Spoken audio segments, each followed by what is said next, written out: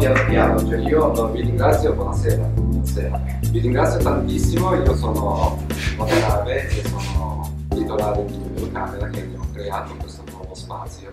Inauguriamo questo spazio e che verrà utilizzato per uh, mini workshop come questa, questa sera o workshop anche intera o presentazione dei prodotti. Volevo creare un punto molto particolare, cioè uh, molto più easy, punto di anche aggregazione uh, degli appassionati e che si incontrano e che fanno anche amicizia, cioè non amicizia su Facebook, che magari vi dia anche qualcosa che rimanga e che vi dia un punto di riferimento, saremo veramente contentissimi. Comunque vi ringraziamo tantissimo di essere venuti qua e grazie. Grazie Io questo ragazzo lo conosco da molti anni, moltissimi anni. Per me è un onore, grazie a tutti di essere qui. Eh, in, questo, in, questa sede particolare, perché io ho conosciuto Ryu vent'anni fa, forse quando... È vero. proprio qui dentro. Qui, io ero seduto qua con un tavolino piccolo. Con Alex Maioli, che poi lui è diventato un mister, un super fotografo, presidente Magnum. E quindi abbiamo iniziato qui da Rio a comprare le prime macchine, a vendere, a fare, disfare. Lui ci ha sempre seguito. Per me è importantissimo fare il primo questa sera qui dentro, lo ringrazio tantissimo per la fiducia che mi ha sempre dato perché grazie a lui sempre eh, sono arrivato agli occhi della guerra, mi ha presentato agli occhi della guerra, grazie a lui sono arrivato a Fuji, eh, insomma io dovrei dirgli grazie dalla mattina alla sera. Non ho fatto niente io, eh, no, è merito tuo, anzi non meriti molto di più. Non bisogna ringraziare Cano che ci ha messo a disposizione il sacramento lì sopra, che è una cosa favolosa, che si chiama Exit Vux 4000, che è una cosa incredibile. Io sono Maurizio Faraboni, eh, sono un fotoreporter, perlomeno ci provo, da tanti anni. Eh, ultimamente ho collaborato con Gli Occhi della Guerra, là c'è un collega carissimo che è Giovanni Masini, Allora, lui è Giovanni Masini, ve l'avevo anticipato prima, eh, abbiamo fatto un bellissimo lavoro, idea sua, eh, lui era già partito per seguire il flusso dei migranti attraverso l'Europa, lui li ha seguiti proprio dalle coste turche fino in Germania, si è arrivato, giusto? Io mi sono aggregato in Grecia e ci siamo salutati alla stazione di Budapest perché avevo degli altri impegni, dovevo rientrare. È stata un'esperienza incredibile perché l'abbiamo fatto in maniera diversa. La nostra idea non era quella di andare solo nei campi profughi e fotografarli come quando siamo arrivati a Roche, per esempio eh, la zona dove è diventata famosa per lo sgambetto della giornalista, erano più televisioni, giornalisti e fotografi che migranti. Noi invece abbiamo voluto viaggiare con loro sui treni, su pullman, a piedi, abbiamo camminato nelle foreste, adesso vedremo il filmato insieme a loro, siamo passati illegalmente sotto il filo di Orban ed è stata un'esperienza incredibile. Eh, dopo due o tre ore di cammino, io personalmente, non parlo per me, non per Maurizio, ma quasi tendevo a dimenticarmi del motivo per cui ero lì, perché in quel momento il mio obiettivo non era portare a casa un servizio o eh, appuntarmi dei dettagli importanti o fare eh, delle buone riprese, ma era passare il muro di filo spinato. Perché sì, in quel momento noi eravamo Lo dico sempre anch'io. Parte del gruppo. Appena siamo entrati in Ungheria ci siamo abbracciati come se avessimo vinto la Champions League, perché ormai eravamo parte di quel gruppo, non eravamo più due giornalisti che erano lì per, per documentare quella cosa. Mm, siamo rimasti, perché noi ci eravamo presentati eh, con il nostro zainetto pensando di fare una camminatina, fare tre foto di qualche intervista, invece abbiamo camminato nove ore e quindi non avevamo né da bere né da mangiare, ce l'hanno dato loro, eh, salvandoci dalla sete, io morivo di sera, lui è abituato a camminare, io con il mio pancione in mezzo zoppo facevo una fatica del boia, ma è stato... l'obiettivo era arrivare cioè, ormai eravamo come loro, non abbiamo messo la maglietta della Merkel come hanno fatto loro, ma ehm, l'obiettivo non era più il servizio, era oltrepassare il confine. ed è stata una cosa incredibile. Stanchezza tanta, c'era una ragazza che aveva perso il bambino durante il tragitto, quindi ogni tanto si andava a rilento perché c'erano tempi molto, si camminava 20 minuti, poi 5 minuti di pausa, mezz'ora, 10 minuti di pausa, così per, per tutto l'arco del, del, viaggio. E questa ragazza aveva, perso, aveva fatto un aborto e quindi eh, camminava veramente, veramente piano. Eppure cioè, io c'è stato un momento che non ce la facevo più, ho detto ma se ce la fa lei, perché loro era già 4-5 giorni che lo facevano questa cosa, dico se ce la fa lei, ce la devo fare anch'io. Ed è stato per me una delle più belle esperienze che ho fatto ultimamente, proprio a livello umano. A livello umano mi ha lasciato tantissimo. Noi ci siamo completamente fatti coinvolgere dalla situazione, eh, perché se no non avremmo fatto un servizio del genere ripeto, rimanevamo a Rosche dove c'era tutta la stampa possibile immaginare, c'erano le immagini, anche noi siamo stati un'oretta giusto da bere qualcosa, poi siamo ripartiti. Eh, bastava stare lì, facevi tutti i ritratti che volevi, i bambini che certo, piangevano, però non avremmo visto ehm, quello che abbiamo visto io e lui, perché penso che siamo in pochi a poterlo raccontare un'esperienza del genere. Eh, e quindi a me interessa quello del mio lavoro, ecco perché dico sempre è una missione sociale, per me non è avere la bella immagine, andare in giro a dire eh, ho vinto il WordPress Photo, eh, ehm, a me piace raccontare delle storie, cerco di farlo il meglio possibile, coinvolgere e portarvi là dove siamo stati io e lui, quello mi interessa, che la gente capisca cosa si prova in certe situazioni, perché in mezzo a una guerra si sa, eh, sei in mezzo a una guerra, però situazioni eh, borderline come quelle che fotografo io, se non riesco a coinvolgervi, a tirarvi dentro e a farvi capire cosa si prova, eh, allora è meglio che lascio stare, davvero. Eh, deve arrivare un messaggio forte e secondo me non ha, arriva anche magari tramite la bella immagine, però ehm, io parto già con un progetto nella testa voglio raccontare questo e lo voglio raccontare così. Poi possono succedere dei cambiamenti, degli imprevisti, del... può succedere di tutto. Però bene o male eh, un reportage lo si studia a casa, si fanno ricerche, si fanno, eh, senti altre persone che ci sono già state, fai tutti su internet, sui libri, ti studi la storia, il percorso, non è facile, non è che prendi un aereo una mattina e dici vado là arrivo e poi cosa fai? Bisogna... Eh, il reportage purtroppo è una cosa meravigliosa, affascinante, però non è così semplice come sembra, no? A me scrivono tutti i santi giorni, adesso che sono ambasciatore dei Fuji, gente che mi dice vorrei andare in Siria. Ma cosa vai a fare in Siria? Oggi. Cosa vai a fare in Siria? Farti ammazzare. Senza idee, dico ma conosci qualcuno, hai dei contatti? No, io vorrei andare là, ma è meglio che se ti vuoi ammazzare vai sotto un treno. Quello che la gente non capisce è che dal vedere i grandi fotografi, i libri, le belle immagini, poi andare a svilupparle e portare a casa la pelle, eh, non è così la, la cosa, insomma.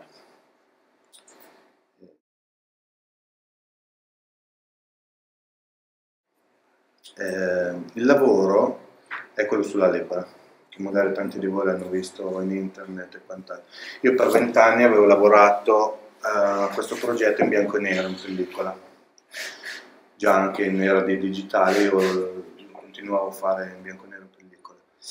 Poi un giorno, siccome il mio più grande cruccio eh, è quello di eh, avere la consapevolezza che i bambini possono essere guariti con una camera iperbarica, eh, ho deciso di eh, giocare l'ultima carta, ho detto le faccio colori perché avevo capito che eh, dalle immagini in bianco e nero non traspariva il, il dolore che prova questa gente dalle ulcerazioni e quant'altro.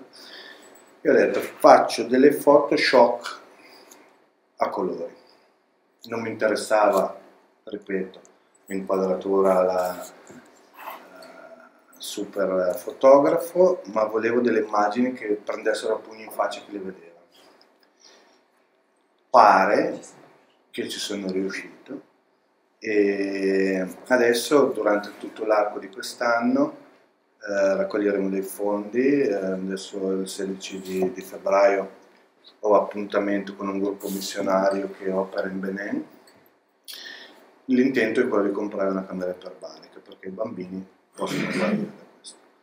Questo progetto io lo porterò avanti penso all'infinito perché finché non, eh, non riuscirò a rendere giustizia a questa gente, siccome ho la testa molto dura, bada boom, bada boom, bada boom, appena posso, torno e faccio materiale nuovo. Il tutto era nato eh, durante un viaggio in Benin nel 99, ero lì per tutt'altro e mi sono bucato un piede. Lontano dall'ospedale dove ero con questi medici che erano a fare delle operazioni ai lavari leporini, mi sono trovato uh, lontanissimo.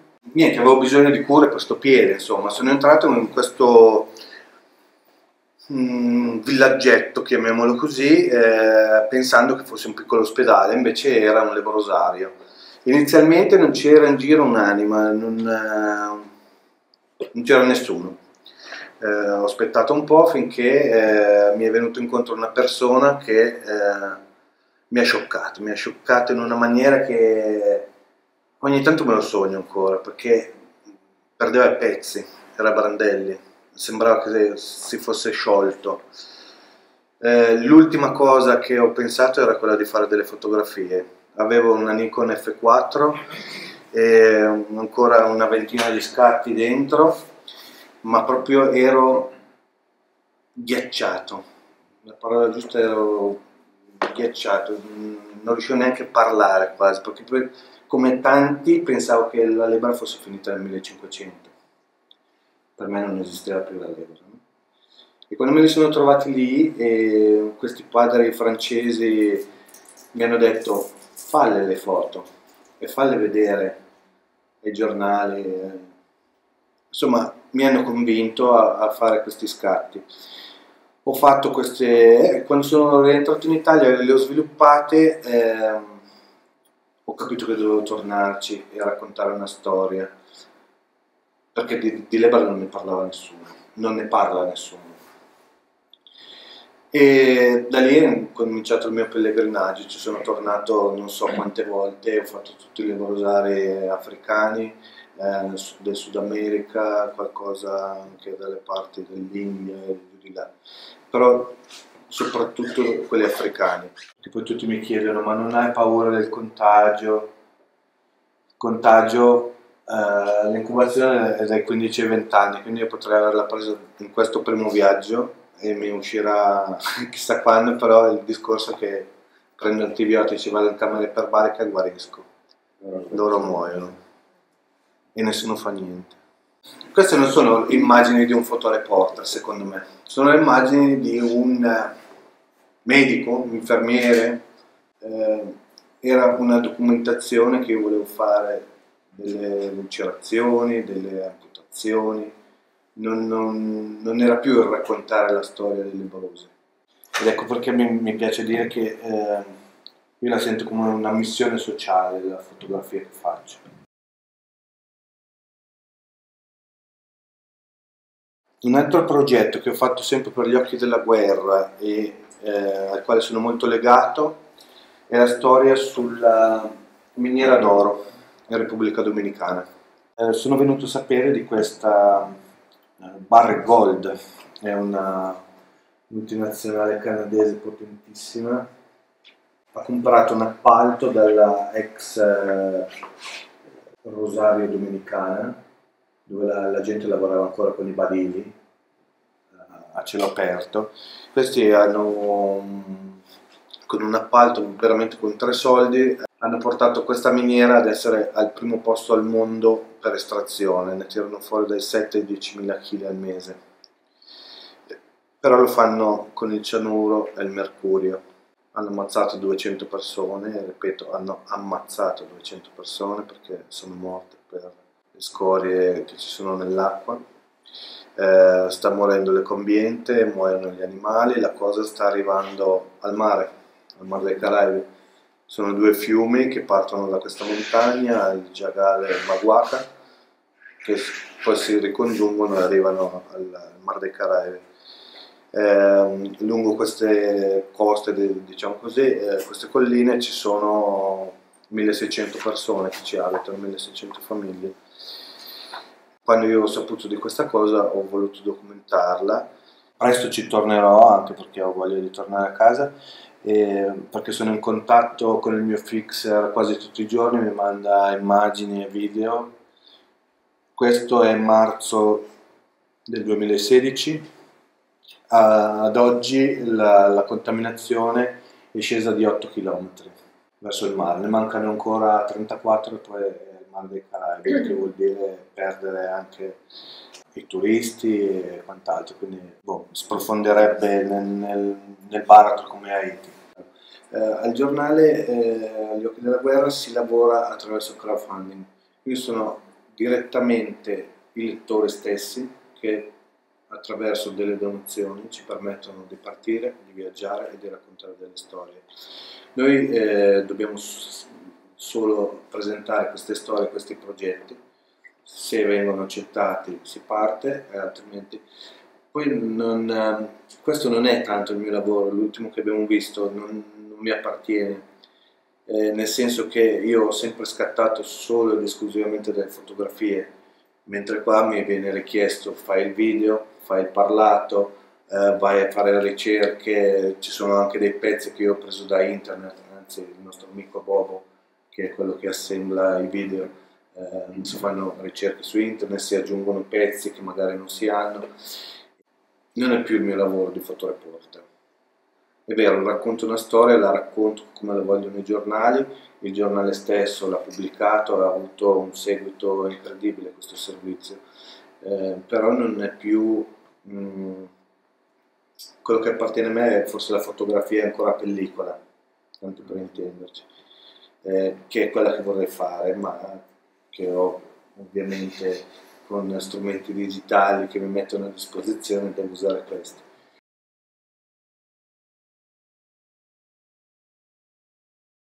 Torniamo a, al, al fotoreporter. Eh, prima Riu parlava di eh, Ivo Saglietti. Ivo Saglietti per me è il miglior fotografo che abbiamo in Italia e rientra tra i miei gusti nei primi dieci al mondo, proprio perché è una persona incredibile eh, e ha sempre raccontato anche lui delle storie molto molto molto particolari. Eh, io questa storia che andiamo a vedere è molto molto breve, l'avevo vista a casa sua, mi aveva fatto vedere, anzi mi aveva regalato un libro bellissimo che lui ha fatto, eh, seguendo la via della negritudine, da Port-au-Prince a Ouida.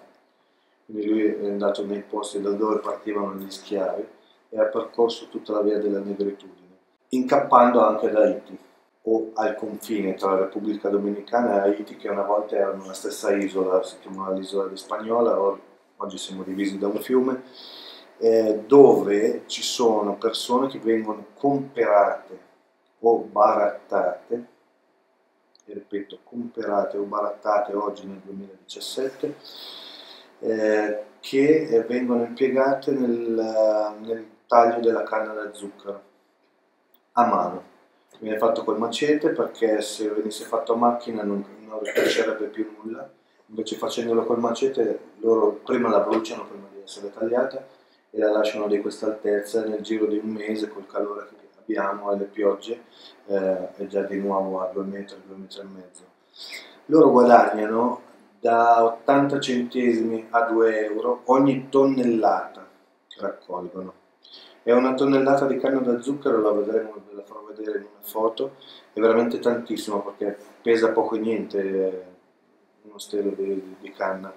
E quindi lavorano per nulla perché ehm, e loro passano la loro vita perché alcuni arrivano molto molto giovani, 5, 6, 7 anni e rimangono lì senza nessun diritto umano, gli è negato tutto, la pensione, la provvidenza sociale e mai avranno i soldi per riscattarsi da chi li ha comprati, perché si parla di cifre di 40-50 mila dollari che loro non sanno neanche scrivere.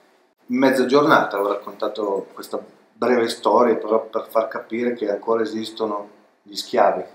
Fuji mi ha, mi ha chiamato, io ero ancora un contributor e mi ha detto guarda ti mandiamo una X Pro 2 da provare, eh, non era ancora ufficialmente uscita, eh, fai qualche cosa, eh, mandacelo. Tant'è che io ho iniziato a fare le fotografie in bianco e nero perché mi interessava questa funzione Acros che hanno iniziato a metterla sulla, sulla Pro 2 e poi mi sono dimenticato e quando facevo i video li ho fatti in bianco e nero, cosa che non si fa, non dovrebbe farsi mai, però ci sta. E quindi il lavoro che ho fatto per, per X Pro 2 eh, è stato questo qui.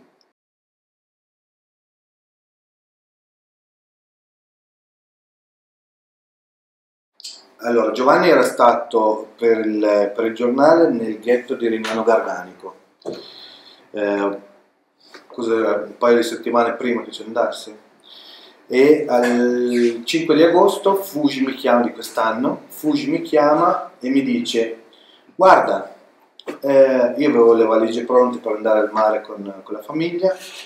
E mi dice eh, ti mandiamo la XT2 faccio un reportage perché i, i giapponesi vogliono che presente a Colonia questa macchina dico ma adesso me lo dite cioè sto partendo il mare e comunque, vabbè, eh, ho fatto una settimana di decisione del mare e poi il 16 di agosto sono partito per, per la Puglia.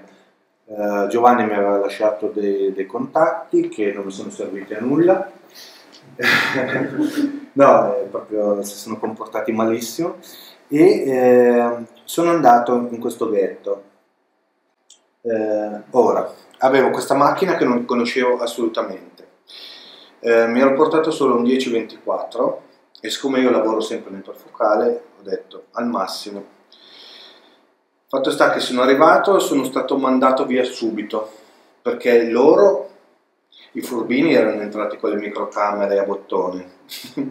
io invece avevo una macchina che si vedeva, insomma, pur essendo piccola, eh, dava nell'occhio. Io sono stato mandato via. Eh, sono, me ne sono andato e sono tornato dopo qualche ora e eh, ho detto facciamo finta che eh, la collego il wifi del cellulare e scatto tramite cellulare ho fatto qualche foto poi mentre ero così mi è arrivato uno da dietro mi ha sgamato e mi hanno mandato via un'altra volta eh, siccome ho la testa dura, mia madre mi dice che ho la testa come i Pirelli, i pneumatici, no? eh, me ne sono andato e ho pensato, eh, mi gioco l'ultima carta. E l'ultima carta è stata quella di impostare la macchina completamente eh, in automatico. Quindi eh, ho messo solo in iperfocale e ho spento tutto, monitor eh, silenziosissima, eh, e ho messo l'intervallometro. Ho impostato che mi scattasse ogni 8 secondi e invece di mettermela al collo me la sono messa così. Quindi me ne andavo in giro di sto cacchio di posto e le immagini poi erano tutte...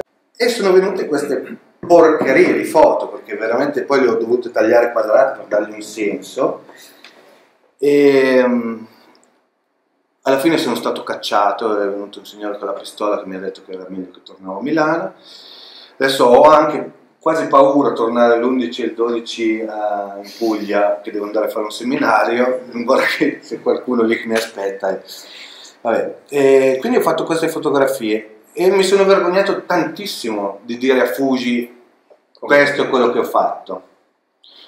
E tutti mi hanno detto, i cinesi sono impazziti, impazziti, ma come se avessi scoperto l'acqua calda che si potevano rubare le immagini, che è una cosa che per un fotoreporter mi dovevano ammazzare prima per rubare una fotografia, invece queste sono tutte rubate. Però per il brand della macchina i signori giapponesi sono stati contentissimi.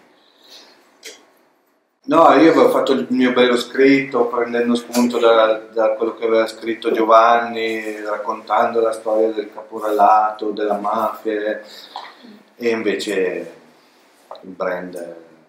Ah, Il brand è il brand. Adesso è bruciato, eh? definitivamente bruciato. Questa è tutta gente che vive anche qua. Io ho conosciuto dei ragazzi senegalesi che vivono a Bergamo, Milano, vanno giù, fanno la stagione della raccolta. Perché una volta il caporalato era bianco, adesso è prettamente nero. Quindi sono i cugini, gli amici che gli dicono via, perché pagano tutto, eh. per andare a lavorare nei campi pagano, per ricaricare il cellulare pagano, per avere l'acqua pagano. eh. Io non so cosa vadano a fare perché anche lì lavorano veramente gratis. Allora, se io non vi avessi detto che ero in, eh, a parte Giovanni che c'è stato, se vi dicevo qua ero in Sudan o ero in Darfur. Fatto sta che eh, purtroppo il giornale non me le ha chieste, non le ha volute, io le ho date alla Repubblica che ha fatto 1 milione e 400 mila condivisioni e eh, non mi ricordo più quante centinaia di migliaia di visite. Quindi le fotografie più brutte e insignificanti che ho fatto hanno avuto un successo incredibile.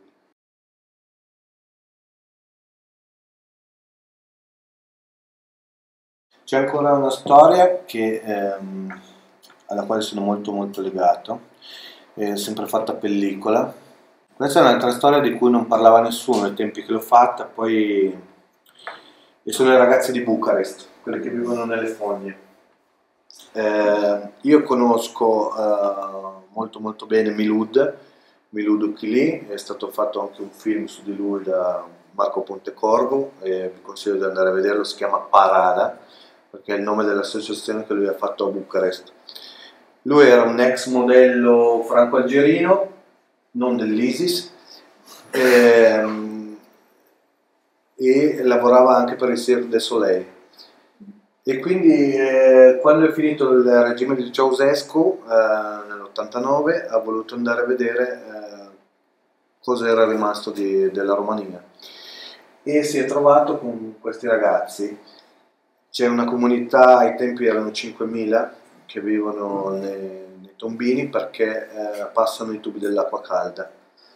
Siccome a Bucarest d'inverno, qua eravamo in inverno, e scende a meno 20, meno 26, insomma le temperature sono veramente... Loro dormono là sotto e entrano e escono come dei topi. Ehm, Milud mi ha chiesto se volevo andare a raccontare questa storia, ci sono andato, eh, è un mondo incredibile. Loro prendono questa, vengono chiamati in romeno, li chiamano aurolaci o boschettari. Aurolaci perché prendono il nome da Aurolac, che è un collante eh, di color eh, argenteo, eh, che lo usano gli italiani che sono là a fare le scarpe. Quindi quando vanno i ragazzi glielo vendono. L'ho già detto prima, me la- della fotografia interessa fino a un certo punto. Poi c'è sempre la tua vita, la famiglia, poi arriva la fotografia, se hai il tempo e la possibilità di farlo, se no, come dicevo prima. Boh. Grazie Mario.